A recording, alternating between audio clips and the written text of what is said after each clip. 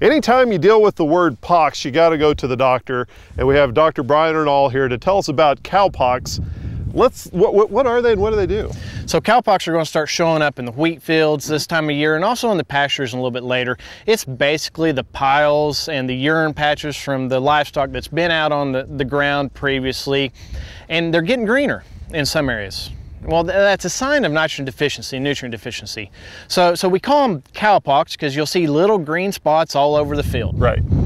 They're a great indicator. In fact, I call them the original, the natural enriched strip. Enriched strip, yeah. We just... we just made the cowpox bigger with the enriched strip.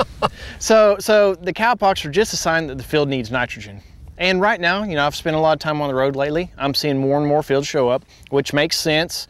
A lot of producers, you know, didn't put a lot of nitrogen down due to the droughts coming into the year. We've had growth starting to come out, and you're starting to see these green patches. Now's the time to make the decision. We're getting a little bit late on nitrogen application. In fact, last weekend, Dr. Edwards put out a post about hollow stem coming in most of the varieties on the test plot. So we're getting near hollow stem, if right. not already there in most cases. Now's the time to apply if we're going to apply. If you see those little green patches in your fields, it's a good opportunity to gain more yield. More than likely, if you get nitrogen on the field, you will reap the benefits in terms of grain or increased forage production if you're just going to a graze out system.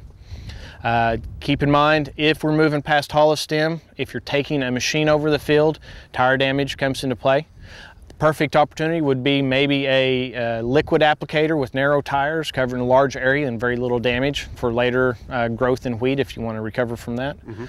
But it's just a good sign that now's the time to apply fertilizer and you'll get an economic benefit. Okay, and right now you're actually wanting pictures of these also, aren't you? Absolutely. Uh, these pictures are great for education and extension purposes. So anybody that wants to send me pictures, please go on my website, put uh, send them through my email or my Facebook or Twitter right. feed or, or, what be it, and uh, please send them my way. I'd love to be able to use them. Okay, so so so right now is almost the end of application yeah. time to uh, to fix them. In, in, normal application, we want people to be on before hollow stem. Right. Be, just limit damage. The wheat as a plant can still recover after that, but the closer we get to flag leaf, closer and closer to flag leaf, the less and less likely it will be that we can recover and yield. So now is the time. Okay. Don't wait any longer if you see those cowpox out there right now. Okay. Dr. Brian Arnall, thank you very much. And for more information, go to our website, sunup.okstate.edu.